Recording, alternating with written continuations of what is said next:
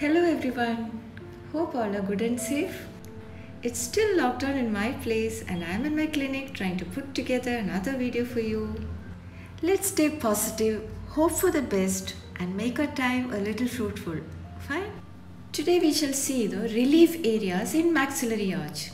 These are areas in the denture bearing surface which do not have the ability to withstand masticatory forces. They may easily resorb under constant load or may contain nerves or blood vessels. Just as the name suggests, these are areas that require relief from masticatory load. That is, the denture has to be fabricated in such a way that load is not concentrated in these areas.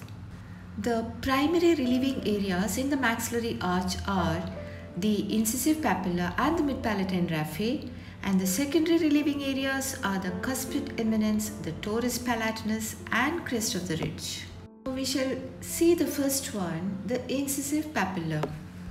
Incisive papilla is a small oval or round shaped mucosal prominence in the midline seen behind the central incisors. In edentulous patients, it's seen in the midline just behind the crest of the ridge. Histologically, it's dense connective tissue and it is lined by stratified squamous epithelium which is keratinized. In my last class, I said these are some of the features that make an area capable of withstanding masticatory load. But then, why is incisive papilla a relieving area? See, this mound of tissue, that is this incisive papilla, is situated just above the incisive foramen Foramen, as you know, is a hole or an opening in the bone through which a neurovascular bundle passes through. So this foramen is the exit point of nasopalatine nerve which is the maxillary branch of the trigeminal nerve. This nerve innervates the palate and the structures around the anterior teeth, the frontal, maxillary, ethmoid and sphenoidal sinuses, the nasal septum, the septal mucosa and also corresponds with the nerve on the opposite side that is a greater palatine nerve. Along with the nasopalatine nerve, this foramen is also the exit point for the sphenopalatine artery which is also called the artery of the head or the artery of epistaxis which you know is the bleeding from the nose and it's a branch of the maxillary artery. So, if the incisive papilla is subjected to constant load, the underlying neurovascular bundle is going to be compressed and this can result in discomfort, pain, burning sensation, soreness, tingling, ulceration or even paresthesia and numbness over its area of innervation. Also, if resorption has progressed considerably, this incisive papilla comes closer to the crest of the ridge, thereby making it more susceptible to load. So I hope that makes it clear to you that incisive papilla should be dealt with carefully. It shouldn't be subjected to any load and it becomes the primary relieving area in maxillary arch. Coming to the next one, the mid-palatine raphe. We're talking about this mound of tissue that is the incisive papilla. Now coming to the mid-palatine raphe, see this green line in the center of the palate. Okay, so this uh, mid-palatine raphe is formed when the two palatine processes of the maxilla grow towards each other and fuse together in the midline. See, palate is formed by two processes, palatine process of the maxilla. They grow towards horizontal plates, they grow towards each other and fuse together in the midline forming a mid-palatine suture. Okay, so this dense ridge-like or seam-like thing in the center is the mid-palatine raphe and the overlying submucosa is very uh, thin and uh, non-resilient. That is it doesn't offer any cushioning effect. And the mucous membrane is very thin. So what happens is when your denture is placed here this because this mucosa is very thin it can easily traumatize the tissue and it can lead to pain and soreness. Also in certain people this mid palatine ridge may be very prominent.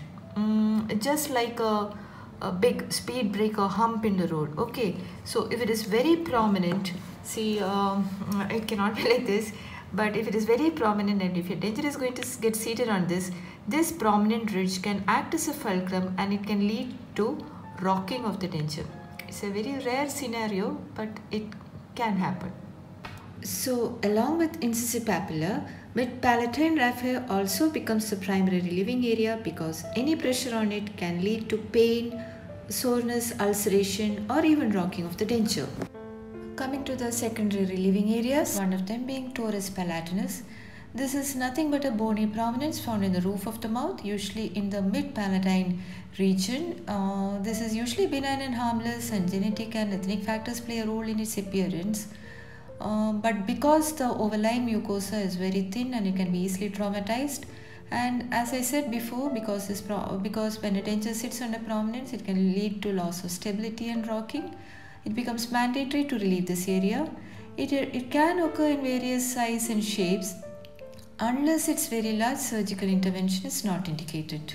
The next secondary relieving area is the Canine eminence. This is a bony prominence seen in the labial aspect of maxilla in relation to the root of the canine tooth.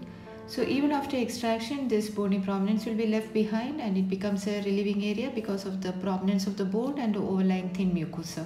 Coming to the last relieving area, secondary relieving area, that is the crest of the ridge, residual alveolar ridge. I think I mentioned this last class also.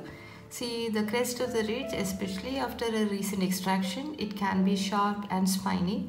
So the extraction sockets will be just under the process of remodeling.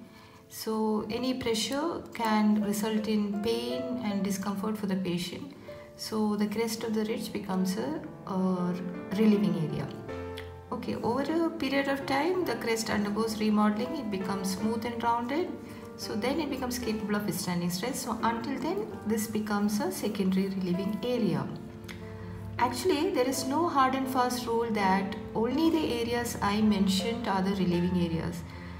Basically any structure or any area in this denture bearing surface which is not capable of withstanding stress has to be relieved. For example, if there are certain folds of mucous membrane or if the mucosa is not firm and resilient in certain areas or if the patient has any bony prominence or a sharp undercut, all those areas require relief. Okay, so that is based on your experience and expertise and observation. So I think uh, we are at the end of today's class. Oh, one thing, uh, one of my friends was saying why I'm using a demotivating pen with failure written on it. Actually, this is not failure. It says failure is not an option. That doesn't require any explanation, right? Okay, so with that, we wind up today's session. Thank you. Take care.